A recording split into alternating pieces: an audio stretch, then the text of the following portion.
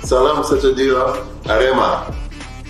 Arema FC menargetkan tidak kebobolan banyak di sisa pertandingan Liga 1 2023 hingga 2024. Musim ini Singo Eden tercatat telah kemasukan 40 gol dari 23 pertandingan, dan hanya memasukkan 25 gol di musim ini.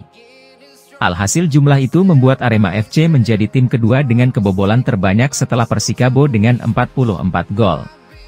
Hal ini juga membuat tim kebanggaan masyarakat Malang ini terperosok ke zona degradasi klasemen sementara Liga 1 hingga pekan 23. Pelatih Arema FC Fernando Valente mengungkapkan, ada strategi baru yang didapatnya dengan menempatkan dua pemain baru di sektor pertahanan yakni Charles Rafael berduet dengan Julian Guevara. Selama ini Valente, beberapa kali menempatkan Charles Rafael Almeida dengan Syaiful Anwar di sektor back tengah. Pertahanan ini menjadi masalah lain buat kami. Kami harus lebih agresif, dan memenangkan duel saat bertahan. Kami coba meningkatkan itu, tapi kami harus tahu karakter pemain yang kami punya, kata Fernando, pada Senin, 15 Januari 2024.